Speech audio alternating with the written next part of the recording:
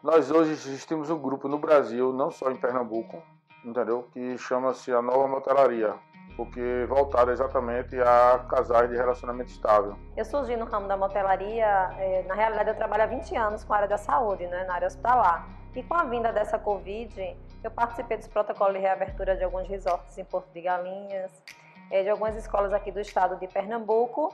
E aí o Carlos Melo, que é administrador de seis hotéis, Zeros, Nexus, Rhodes e Intense, me fez um convite para vir aqui fazer os protocolos de segurança dos colaboradores e, consequentemente, cuidando da entrega para o cliente.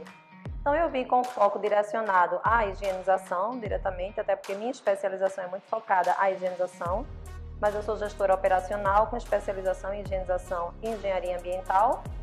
Então, eu comecei a trabalhar com ele em vários cenários aqui dentro do, do hotel, né? Indo do atendimento, a chegada do cliente e a entrega segura do ambiente. Bom, ao chegar a gente se organiza, né, para a cozinha, a gente se higieniza, coloca todo o fardamento, todo segurança, higienização, tudo. Aí a gente chega, a gente assume o plantão, porque quando a gente chega, a gente está substituindo o colega que ficou.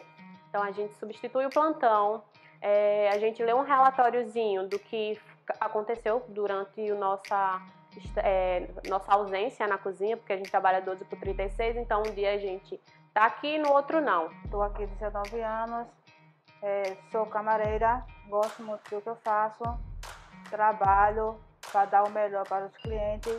A gente vai ver o que está faltando, vai fazer produção de, de alimentos, o que estiver faltando, higienização de, é, de hortaliças, de hortifruti.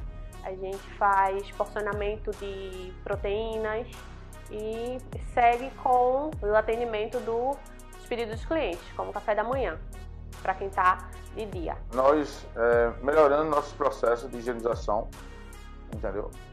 É, mudamos. Hoje eu costumo dizer por aí que a gente tem o mesmo, a, a mesma higienização de um hospital na parte de hoteleira. Todo hospital tem a parte hoteleira. Então nós temos hoje a higienização é, comparada, entendeu, a hospital. A suíte toda suja. Estou liberando o cliente. O cliente está saindo, eu estou de luvas. Reviso a suíte todinha, liberei o cliente. Nesse momento tem que estar sempre com as luvas. Pego a roupa, recolho no recipiente de roupa suja. Voltamos, pegamos, estou com todos os meus produtos, coloco a banheira para a higienização, que fica lá no tempo de, de 15 a 20 minutos.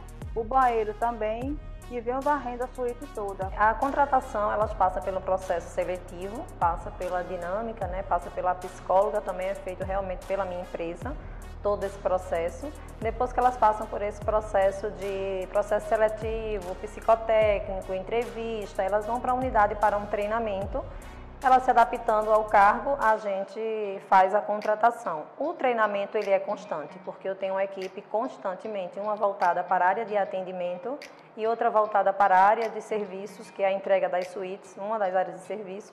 Temos também uma nutricionista voltada para a área de cozinha. Eu acredito o seguinte, que quem tiver voltado para a norma hotelaria, para suítes instagramáveis, para suítes que dêem um prazer da pessoa vir trazer a namorada, trazer a noiva, trazer a esposa, entendeu? O marido, entendeu? É, quem tiver voltado para isso vai, vai permanecer no mercado, entendeu? Quem cobrar um, um preço justo, entendeu? E um, e um preço compatível com o mercado.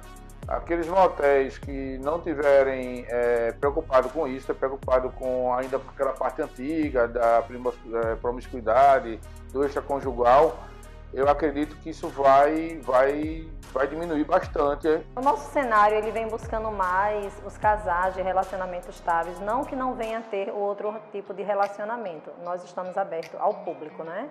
Mas até mesmo pela proposta do que a gente vende, pela entrega que a gente faz, por a gente ter uma forma mais clean de trabalhar. Então, assim, as pessoas me perguntam, né? Falam muito assim, ah, doutora, como a senhora é da área de saúde há 20 anos e de repente chegou dentro da motelaria. Então, assim, eu digo muito que eu cheguei para revolucionar.